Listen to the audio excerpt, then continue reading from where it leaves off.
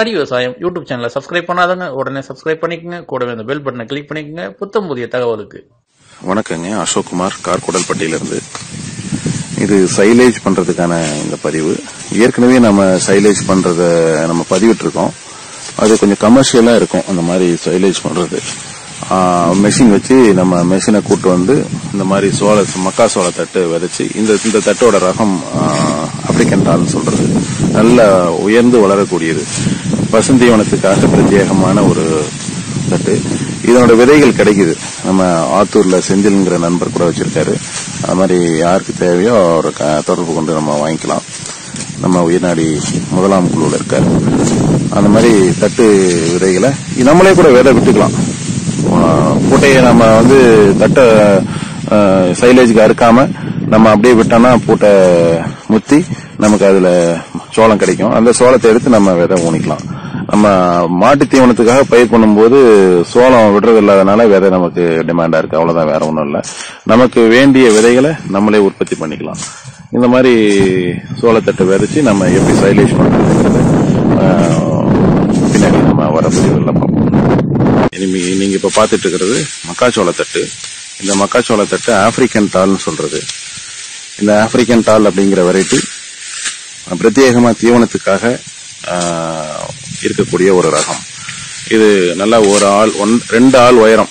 கிட்டத்தட்ட பத்தடி உயரம் வளரக்கூடிய ஒரு பயிருங்க. பத்தடிக்கு குறையாம இது வளரும். இப்போ இந்த வயல்ல நீங்க பாக்குறது ஒரு சராசரியான வளர்ச்சி தான் அதாவது பயிர் நடவு செஞ்ச நாள்ல இருந்து எந்த விதமான இடுபொருட்களும் கொடுக்காம வெறும் தண்ணி மட்டும் பாசனம் பண்ணிட்டு இருந்த தட்டு காரணம் என்னன்னு கேட்டா இது சித்திரை வைகாசி மழை மழைக்காலம். காற்று வந்து தட்டு சாஞ்சு போயிட்டா என்ன பண்றதுன்னு கொஞ்சம் கவனிக்காமலே இருந்தோம். இருந்தாலும் ஓரளவுக்கு காத்துக்கு தாங்குது. ரொம்ப நம்ம நார்மல் மக்காச்சோள தட்டு மாதிரி ஹைபிரிட் தட்டு மாதிரி சொடக்குன்னு உடஞ்சி போறதில்ல. நல்ல காற்றுக்கு தாங்கி தான் வளர்ந்து வளரக்கூடியதா இருக்கு. இதுக்கு நல்ல ஊக்கம் கொடுத்து வளர்த்தோம்னா இன்னும் தண்டு நல்ல ஊக்கமாகவும் நல்லா இன்னும் இன்னும் ஒரு மூணு அடி நாலு அடி உயரமாகவும் வளரக்கூடும். நீங்க பார்க்கலாம் அவரோட உயரத்துல இருந்து எவ்வளவு மேல இருக்குன்ட்டு. கிட்டத்தட்ட பன்னெண்டு அடி பதிமூணு அடி வரும். அது மாதிரி வரக்கூடிய ஒரு தட்டு. நீங்க நல்லா பார்த்தீங்கன்னா படத்துல நல்லா தெரியும். இந்த மாதிரி வளர்ந்த தட்டு இதனோட வயது கொஞ்சம் அதிகம். நார்மலா ஹைபிரிட் வெரைட்டி போட்டீங்கன்னா சைலேஜுக்காக நாம ஒரு அறுபது டு எழுபது நாட்குள்ள கட் பண்ற மாதிரி இருக்கும்.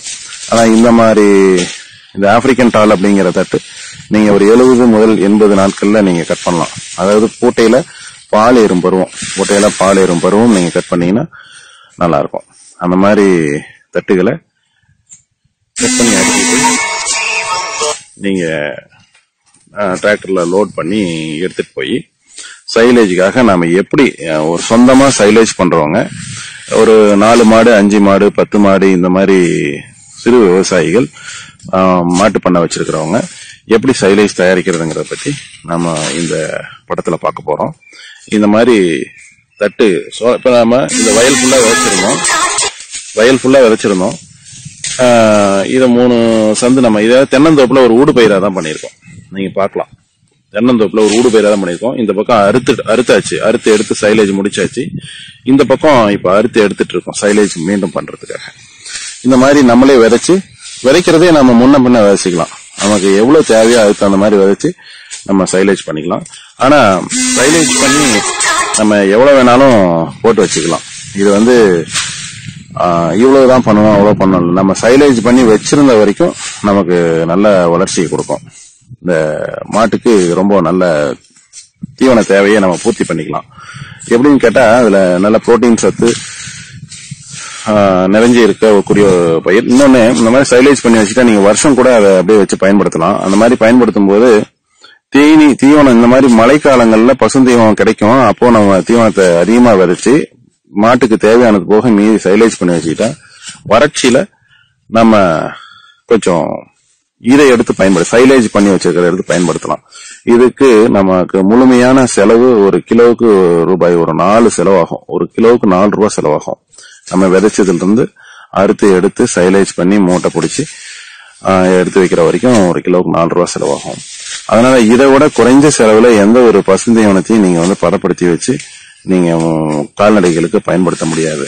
அதனால விவசாயிகள் எவ்வளவு குறைஞ்ச செலவுல எப்படி சைலேஜ் செஞ்சுக்கிறதுங்கிறத நம்ம இப்போ பார்க்க போறோம். இன்னொரு விஷயம் இந்த இதுல என்னன்னா நம்ம ஊ- தென்னையில ஊடுபயிராகவும் நம்ம இதை பண்ணிக்கலாம். இடைவெளி பார்த்தீங்கன்னா ஒரு ஒன்றரை அடிக்கு ஒரு அடி அதாவது பார் ஒன்றரை அடி பார். அப்புறம் அதில் பாரில் வந்து தட்டுக்கு தட்டு ஒரு அடி கேப் இருந்தால் போதும்னு நினைக்கிறேன். அடர்த்தியாக உண்ண வரைக்கும் தட்டோட சைஸ் கம்மியாக வரும். கொஞ்சம் அடர்த்தி கம்மியாக இருந்த வரைக்கும் தட்டு நல்லா பருமனாக பருமனா இருக்குங்கிறது என்னோட கருத்து. அப்படிதான் தெரியுது பார்க்கும்போது. தென்னை மரத்துல மட்டை விழுறது தேங்காய் விழுறது இதை மாதிரி சூழ்நிலைக்காக நம்ம மரத்துக்கிட்ட கொஞ்சம் தட்டை ஊனாம அப்படியே ஒதுக்கிடுறோம். ஒதுக்கிட்டு மீதி இடங்கள் மட்டும் நம்ம தட்டு ஊனி அப்படியே பாசனம் பண்ணிக்கிறோம். இப்ப அடுத்ததான் இதுல என்ன ஒரு ஐடியான்னா இந்த பாரோட பள்ளத்துல லைட்டா கொத்துல கிளறி விட்டு அதுல அப்படியே விதைய ஊனி விதை முளைச்சி வந்ததுக்கு அப்புறம் மீண்டும் இந்த பாரோட மேட்டு பகுதியை அப்படியே வெட்டி மண் அணைச்சிடலான்னு பாக்குறேன். அப்போ தட்டு நல்லா மண்ணுக்குள்ள வேர் ஓடுறதுக்கு நல்லா இருக்கும். பிடிமானமா இருந்ததுன்னா மறுபடியும் இனி வரும் ஐப்பசி கார்த்திகையில மழை காலத்துல ஏதாவது லேசா காத்தடிச்சா கூட சாயாம இருக்கும் அப்படின்ட்டு இந்த ஒரு ஐடியா பண்ணிருக்கு. ஸோ அந்த மாதிரி ஊனி பார்த்து எப்படி இருக்குன்ட்டு பண்ணலாம். நான் மறுபடியும் அடுத்த முறையை நான் இதை பதிவிடுறேன். இந்த மாதிரி அறுத்து தட்டை அறுத்து வச்சுட்டு இந்த தட்டை நம்ம வண்டியில லோட் பண்ணி எடுத்துட்டு போய் சைலேஜ் பண்ணிக்கலாம். இந்த மாதிரி அறுத்து வச்ச மக்காச்சோள தட்டுகளை நம்ம வண்டியில லோட் பண்ணி எடுத்துட்டு போகலாம் கட்ட வேண்டியதில் அப்படியே லோட் பண்ணி எடுத்துகிட்டு போனால் அங்கே சாப் கட்டரில் விடுறதுக்கு எடுத்து விடுறதுக்கு சௌரியமா இருக்கும். அடி வெளியே வச்சு தலைவை உள்ளே வச்சு போட்டோன்னா அங்கே போய் வெளியில் எடுக்கும்போது சௌரியமாக வெளியே எடுக்கலாம் அப்படிங்கிறதுக்காக அடித்தட்டை வெளியில் வச்சு தரவு தட்டை உள்ளே வச்சு நம்ம வண்டியில் லோட் பண்ணுறோம் இந்த மாதிரி எவ்வளோ தூக்க முடியுமோ அவ்வளோ தூக்கி எடுத்துகிட்டு போய் சிறு சிறிதாக நம்ம வாகனத்தில் லோட் பண்ணிக்கலாம். இந்த வாகனம் கொஞ்சம் உயரம் கம்மியாக இருக்கிறதுனால ஒரே ஆள் வாங்கி ஆள் அடுக்க வேண்டியதில்லை. எடுத்துகிட்டு போயிட்டு நம்ம அப்படியே ஒருத்தரே லோட் பண்ணிக்கிறதுக்கு சௌரியமாக இருக்கும். உயரமான வண்டியாக இருந்தால் வண்டி மேலே ஒரு ஆள் நின்று நம்ம வாங்கி அடுக்கிக்கலாம். நம்ம தட்டு நறுக்கிறதுக்கு முன்னாடி இந்த பிளேடு இந்த மாதிரி ஷார்ப்பாக வச்சுக்கணும். பிளேடு ஷார்ப்பாக வச்சுட்டா உங்களுக்கு கட்டிங் ரொம்ப நல்லா வரும். அதனால ஒரு அணை வச்சு பிளேடை வந்து ஷார்ப் பண்ணிக்கலாம்.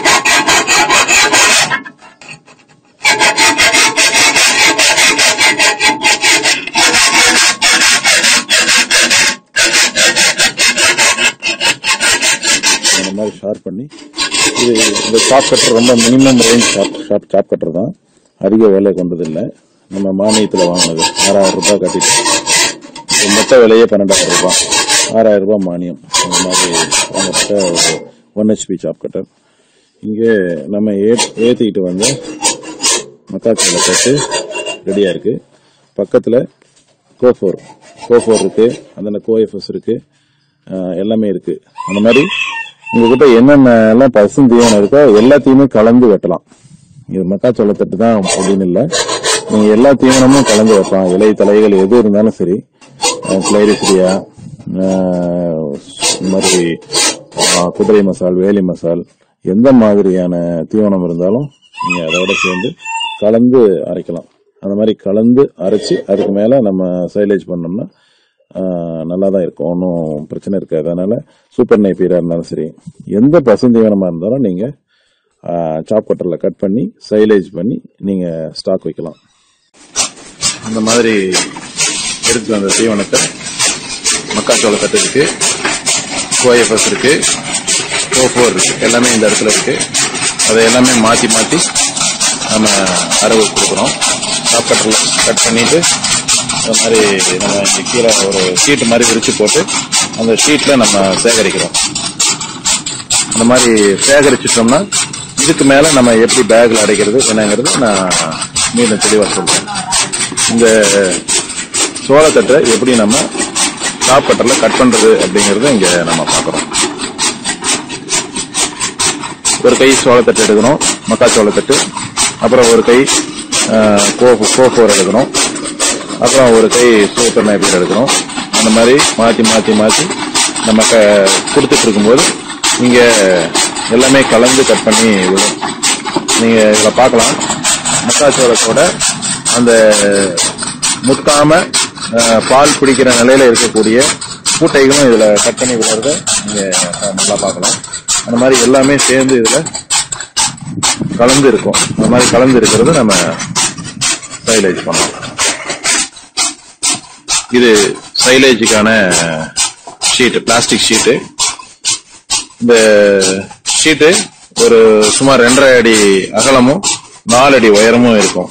பெரிய ஒரு ஷீட். இதுல முழுமையா இந்த சைலேஜுக்கான தீவனத்தை நிரப்பினா சுமார் எழுபது முதல் எண்பது கிலோ வரை நம்ம நிரப்பலாம். அந்த மாதிரி இந்த ஷீட்டு கிடைக்குது. இந்த ஷீட்டு நாங்க முப்பத்தி இருபத்தஞ்சு ரூபாய்க்கு விவசாயிகளுக்கு கொடுத்துட்டு வரோம். ஒரு ஷீட்டோட விலை இருபத்தஞ்சு ரூபான்னு கொடுத்துட்டு வரோம். இப்போ இந்த ஷீட்டை நம்ம இன்னொரு பையில போடணும். அது எப்படி போடுறதுன்னு நான் இப்போ சொல்றேன். இந்த பை சாதாரண தீவனத்துக்கு உபயோகப்படுத்துற பை. கோழி பண்ணைகள்ல குஞ்சு தீனி வர்றதுக்காக குரோயர் அப்படின்னு சொல்லக்கூடிய அந்த தீவனம் வர்றதுக்கான ஒரு பை. இந்த பையில இந்த ஷீட்டை வந்து உள்ள போடணும். இது எப்படி போடுறதுன்னு நான் இப்போ காமிக்கிறேன். முதல்ல இந்த பச்சை கலர் ஷீட்டை நம்ம உள்ள ஒட்டிட்டு இருக்கோம். அந்த மாதிரி ஒட்டிட்டு இருக்கிறத நம்ம உள்ள காத்து போற மாதிரி லூஸ் பண்ணி விடணும். இப்போ அந்த மாதிரி லூஸ் பண்ணி விட்டு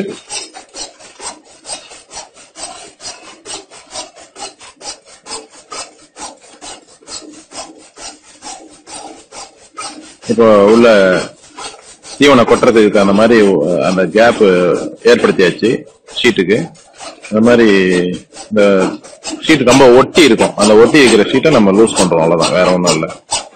லூஸ் பண்ணிட்டு திருப்பி ஷீட்டை பழையபடிக்கு நம்ம எடுத்துடலாம். எடுத்து இந்த வெள்ளை கலர் பையில உள்ள போடுறோம்.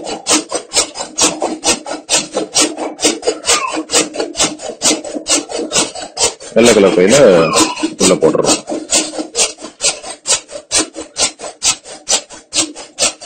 உள்ள எதுவும் சுருக்கம் இல்லாம கரெக்டா அந்த பை போய் இந்த உள் உள் பை போய் வெளி பையில உள்ள நல்லா சமமா உட்காந்துக்கும். உட்காந்ததுக்கு அப்புறம் வெளிப்பக்கமா இந்த பேகை ஒரு மடி மடிச்சுக்கிறோம். அதாவது நம்ம போடக்கூடிய பொருள் இந்த ரெண்டு பைக்கு இடையில போகக்கூடாது இல்லையா? அதுக்காக கொஞ்சம் இந்த பையை இப்படி வெளியில மடிச்சுக்கிறோம். இந்த மாதிரி அந்த பையில இப்போ இந்த பசுந்தீவனம் நறுக்கப்பட்ட பசுந்தீவனத்தை உள்ள அள்ளி போடுறோம். இந்த மாதிரி பையில கொட்டப்பட்ட அந்த பசுந்தீவனத்தை நல்ல கொஞ்சம் கூட ஏர் கேப் இல்லாம நாலா பக்கமும் கையில நல்லா குத்தி விடணும். நாலா பக்கமுமே நல்லா சொருவி விடணும். நல்லா மேல டைட்டா இழுத்து பிடிச்சு உள்ள வச்சு குத்தி விடணும். அப்போ எங்கேயுமே ஏர் கேப் இருக்காது.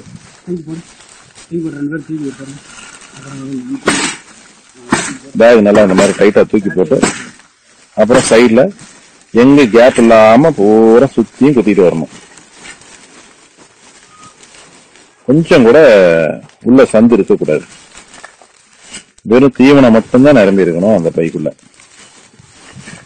இந்த பையில எண்பது கிலோ எழுபது முதல் எண்பது கிலோ தீவனம் பசுந்தீவனம் பிடிக்கணும் அப்படின்னா அப்ப எந்த அளவுக்கு நீங்க டைட்டா அத அழுத்தணும் அப்படிங்கறத நீங்க பாத்துக்கங்க அவ்வளவு டைட்டா இருந்து உள்ள கொஞ்சம் கூட காத்து இருக்கக்கூடாது.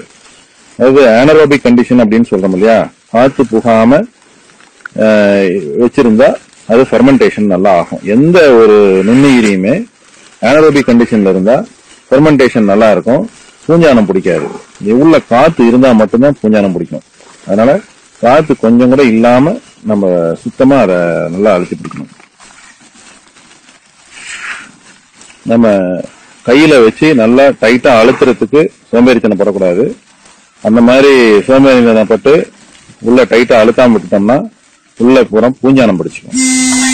அதனால உட்காரணம் பண்ணும் நம்ம டைட்டா அழுத்துறதுக்கு கூச்சப்படக்கூடாது. கொஞ்சம் கொஞ்சமா கொஞ்சம் கொஞ்சமா அந்த பைய இந்த மாதிரி நிரப்பிக்கிட்டே வர்றோம். மாதிரி நல்லா டைட் பண்ணி நல்லா மூட்டையை ரெண்டு தரம் தூக்கி போட்டுக்கணும். கொஞ்சம் கூட மூட்டையில் சுருக்கம் அளவுக்கூடாது சுருக்கம் இல்லைனாவே டைட்டாக இருக்குன்னு அர்த்தம். அதை வச்சு நம்ம போடணும். ஃபுல்லாக நிரப்பிட்டு ஒரு முக்கால் அடி ஒரு அடி ஷீட் இருக்கும்போது நம்ம ஸ்டாப் பண்ணிக்கணும். ஸ்டாப் பண்ணிட்டு இந்த ஷீட்டை இப்படி கையில் நல்லா ஒன்றா சேர்த்துக்கணும். இப்போதான் நம்ம முக்கியமான கவனிக்க வேண்டிய விஷயம் என்னன்னா உள்ளுக்குள்ள காத்து கொஞ்சம் கூட இருக்கக்கூடாது முக்கியமா இதுல என்ன பண்ணுவோம்னா நார்மலா வேக்கம் கிளீனர் வச்சு இதுல வேக்கம் கிளீனரோட டியூப் விட்டு சக் பண்ணும்போது உள்ளுக்குள்ள ஏர் இல்லாம டைட்டா இருக்கும். ஆனா நம்ம வேக்கம் வேக்கம் கிளீனர் யூஸ் பண்ணாம எப்படி இத வந்து உள்ள இருக்கிற காத்தை வெளியேற்றுறதுன்னா இந்த மாதிரி நம்ம நல்லா கிட்ட சேர்த்து பிடிச்சி கொஞ்சம் கூட காத்து உள்ள இல்லாம நல்லா அழிச்சு விட்டுட்டு காத்து கொஞ்சம் கூட இருக்காது கொஞ்சம் காத்து இருந்தாலும் அதுல உங்களுக்கு கெட்டு போயிடும் பூஞ்சானம் பிடிச்சிடும் ஃபங்கஸ் ஃபார்ம் ஆயிடும். அதனால கொஞ்சம் கூட காத்து இல்லாம இந்த மாதிரி நைலான் கயிறு போட்டு கட்டிட்டு நல்லா இருக்க கட்டி மறுபடியும் அந்த தளவு மறுபடியும் உள்ள மடிச்சு திரும்ப அதை சுத்தி கட்டணும். இதுதான் ரொம்ப முக்கியமான விஷயம். கொஞ்சம் கூட ஏர் உள்ள போகக்கூடாது. அதுக்காக இவ்வளவு ஜாக்கிரதையா இதை வந்து நம்ம கட்டணும். இந்த மாதிரி நல்லா இழுத்து டைட்டா கட்டிடணும். இதுக்கிடையில இங்க நம்ம தீவனத்துல கலந்து நம்ம கட்டரில் விட்டுட்டே இருந்தோம்னா ஒரு பக்கம் கட்டிக்கிட்டே இருக்கும். கட் கட் பண்ணிக்கிட்டே இருக்கும். ஒரு பக்கம் கட் பண்ணிக்கிட்டே இருக்கும்போது நாம ஒரு பக்கம் இனி- இன்னும் ஒரு ரெண்டு பேர் நம்ம இருக்கிற இந்த ஒர்க்கை நம்ம சைட் பை சைட் பார்க்கலாம். பார்த்துட்டு உள்ள இந்த மாதிரி உள்ள இருக்கிற நைலான நல்லா நைலான் கை நல்லா கட்டிட்டு இப்போ மேலே இருக்கிற பேக்கையும் அந்த மாதிரி நல்லா சேர்த்து பிடிச்சு நீட்டாக கட்டணும். இதுதான் அந்த கட்டக்கூடிய முறை. இந்த மாதிரி கட்டினோம்னாலே உள்ள காற்று புகாது. காற்று போகாது அப்படிங்கிற பட்சத்தில் உங்களுக்கு ஃபங்கஸ் ஃபார்ம் ஆகாது. ஃபங்கஸ் ஃபார்ம் ஆகாமல் ஏரோரோபிக் கண்டிஷன்ல உங்களுக்கு ஃபர்மெண்டேஷன் ரொம்ப நல்லா ஆகிடும் இதை நம்ம எவ்வளோ நாள் வச்சிருக்கிறோமோ அவ்வளோ நாள் இதுக்கு வீரியம் ஜாஸ்தி ஆகிட்டே போகும். நம்ம இதுக்கு ஒரு வருஷம் கழிச்சு கூட பயன்படுத்தலாம். மூணு மாசம் கழிச்சு பயன்படுத்தலாம். குறைஞ்சபட்சம் நம்ம ஒரு மாசம் வச்சிருக்கணும். ஒரு மாசம் வச்சிருந்தனால அதனோட பலன் முழு பலனை நாம அனுபவிக்க முடியும். ரொம்ப இறுக்கி கட்டணும். இறுக்கி கட்டுறதுல மட்டும் நம்ம கொஞ்சம் கூட காம்ப்ரமைஸ் பண்ணக்கூடாது. அந்த மாதிரி கட்டினோம்னா தான் ரொம்ப நல்லா பெர்மெண்டேஷன் ரொம்ப நல்லா நடக்கும். கொஞ்சம் காற்று உள்ள போற மாதிரி ஏதாவது ஒரு பேக் கட்டிட்டாலும் அது பேக் முழுக்க கெட்டு போயிடும்.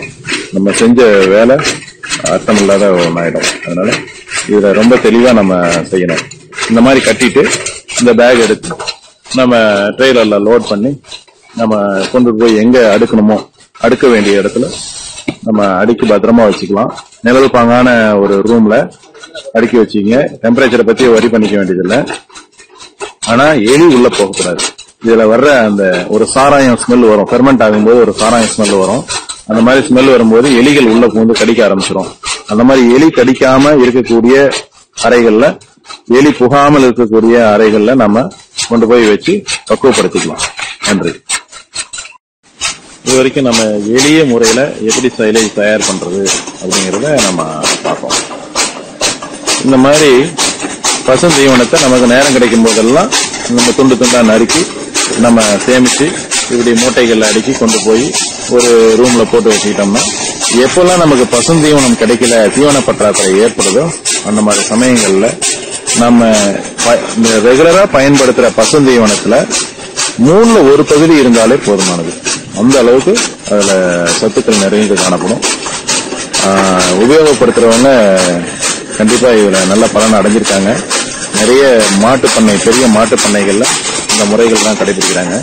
அதனால சிறிய அளவுல செய்யக்கூடிய சின்ன மாட்டு மாடு வச்சு பால் கறக்கக்கூடிய சின்ன பண்ணையாளர்களும் இந்த மாதிரி சிக்கனமான முறையில நீங்கள் நீங்க ரைஸ் தயாரிக்கலாம். பாருங்க அந்த பெரிய பேக்ல இந்த ஷீட்டை எப்படி உள்ள போடுறாங்க அப்படிங்கறத நீங்க பார்க்கலாம். அந்த மாதிரி போட்டு ரெடி பண்ணி வச்சுக்கணும்.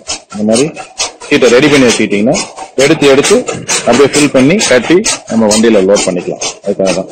இந்த உள்ள இருக்கிற ஷீட் நான் ஏற்கனவே சொன்னேன் இருபத்தஞ்சு ரூபாய் அப்படின்ட்டு. வெளியில இருக்கிற அந்த ஷீட்டு பன்னெண்டு ரூபாய்க்கு கொடுக்குறோம். ஒரு சீட்டு ப- ஒரு பேக் பன்னெண்டு ரூபாய்க்கு கொடுக்குறோம். இதை வேணுங்கிறவங்க வாங்கி பயன்படுத்திக்கலாம். நம்ம நிறுவனத்திலேயே இது எல்லாமே கிடைக்குது. அந்த மாதிரி வாங்கி நீங்க சுலபமா பயன்படுத்திக்கலாம். உங்க பகுதியில எங்கேயாவது இந்த ஷீட்டு இந்த விலைக்கே கிடைச்சாலும் நீங்க வாங்கி பயன்படுத்திக்கலாம். நம்ம கிட்ட தான் வாங்கணுங்கிறது இல்ல. அதாவது ஷீட்டு கிடைக்காத பட்சத்துல நம்ம அவங்களுக்கு சப்ளை பண்றோம். அவங்க அவங்க பகுதியில இந்த மாதிரி ஷீட்டு இது வந்து வேஸ்ட் மெட்டீரியல் போடக்கூடிய ஷீட் டஸ்ட்பின்ல இந்த ஷீட்டை போட்டுட்டு நம்ம வேஸ்ட்டை வந்து இதில் போட்டு கட்டி போடுற அந்த ஷீட் இது. இதனோட எடை சுமார் ஒரு எனக்கு சரியா தெரியல. ஒரு கிலோவுக்கு பதினாறு ஷீட் பக்கமாக வரும். கிலோ கணக்கில் வாங்குறதுனாலும் கிலோவுக்கு பதினாறு ஷீட் வரும். அந்த மாதிரி இல்லை ஷீட்டு கணக்காகவும் விற்கிறாங்க ஸோ எப்படி கிடைக்குதோ அந்த மாதிரி வாங்கிக்கலாம். வெளியில போடுற ஷீட் நீங்க பார்க்கலாம். அந்த திருச்சி கம்பெனியோட பவுல்ட்ரி லேயர் மேஷ் அந்த பேக் தான். இது ஈஸியா எல்லா கோழி பண்ணைகளும் கிடைக்குது. நீங்க நேரடியாக கோழி பண்ணையாளர் வேணாலும் வாங்கலாம். எல்லா பண்ணையாளர்கிட்ட எடுத்து மீண்டும் விற்கக்கூடிய ஆட்களுக்கு வந்து நீங்க பேக் வாங்கிக்கலாம். இது பத்து முதல் பன்னெண்டு ரூபாய் அந்த சீசனுக்கு தகுந்த மாதிரி ஒரு ரெண்டு ரூபாய் முன்ன பண்ண கிடைச்சிட்டு இருக்கும். ஸோ இந்த ரெண்டு ஷீட்டையும் இப்படி உள்ள ஒன்று உள்ள ஒன்று போட்டு நீங்க தயார் பண்ணலாம். ஒரு பக்கம் நம்ம பசுந்தீவனத்தை நறுக்கிட்டு இருக்கிறோம் இப்போ இந்த ரெண்டு மூணு பேக் எடுத்துட்டு ஃபில் பண்ணி டிராக்டர்ல லோட் பண்ணி கொண்டு போய் நம்ம அடுக்கி வச்சுக்கலாம்.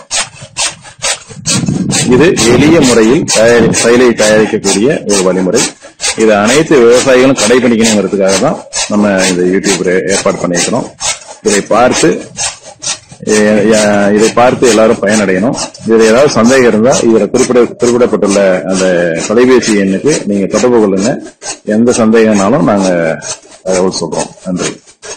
அடி விவசாயம் யூடியூப் சேனலை சப்ஸ்கிரைப் பண்ணாதவங்க உடனே சப்ஸ்கிரைப் பண்ணிக்கங்க. கூடவே அந்த பெல் பட்டனை கிளிக் பண்ணிக்கங்க. புத்தம் புதிய தகவலுக்கு.